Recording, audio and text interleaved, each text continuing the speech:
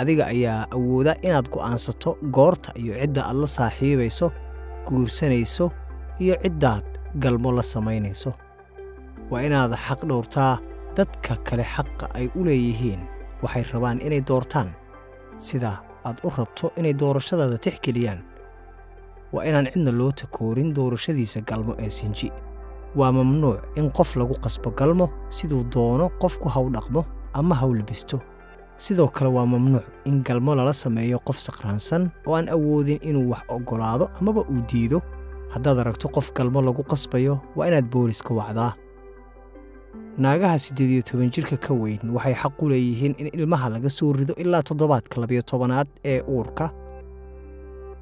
Haddii laga yaryahay siddeed iyo toban sano waxaa la codsan karaa in ilmaha lagaa soo rido iyadoo aan waalidkaa la ogeysiinaynin waxaad xaq u leedahay wadahadal sir ah ood la yeelato dhakhtarkaaga balse inta aad ka gaarayso siddeed iyo toban sano caadiyan waa in waalidkaa laga wargeliyaa caafimaadkaaga dhibaatada ka dhalata caashaqa labada kala dhaqanka ah sidaydoo kale waa in waalidiintayadu rabeen inaan guursado inay iyagu ii dooreen aniguna aan guursaday nin aan doortay waan muslimay si aan ugu fududeeyo iyo xidhiirka iyada iyo waalidiinteeda. hooyaday weli way ka xanaaqsanayd inkastoo uu andres muslimay inaan guursaday wax walibana sidii la rabay ahaayeen balse weli way xanaaqsanayd oo way ka xumayd go'aanka aan gaadhay wax laga qaban karaysee ma jirin. Maalin ayuunbaan ogaaday tanu inay tahay noloshayda. Aanan ku qasbanahay inaan ku noolaado qof dhallinyaro ah baan ahay waxaan rabaa inaan carruur yeesho aan helo nolol aniga macno ii leh. Maalin baa waxay tidhi weligaa iimaadan ahayn qof dhib yar wayna ku saxnayd weligay qof u dhib yar ma aanan noqon.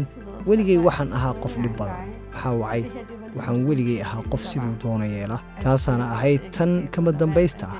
Markay arrintu joogto guursashada iyo ciddaa noloshayda la qaadan lahaa taasaana ahayd kama dambays deedna waxaan idhi aslanba waa runtaa weligay meeshaan rabo ayaan mari jiray.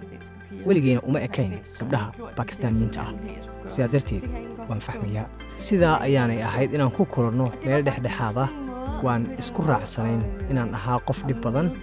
Sidaana waan ahaa marka la eego dhanka dhaqanka baakistaan waxaan ahaa mid dadka ka duwan. Maanta waxaan joognaa meel aan giddigayagu farxad ku joogno. Meel ay iyaguna ku faraxsan yihiin. Go'aankii aan qaatay waxay heleen wiil wanaagsan oo soddon iyo soddoh loo yahay oo ay ku faraxsan yihiin. Qoyskooda iyo noloshooda qayb ayaad ka tahay. Carruurteennuna waa sidoo kale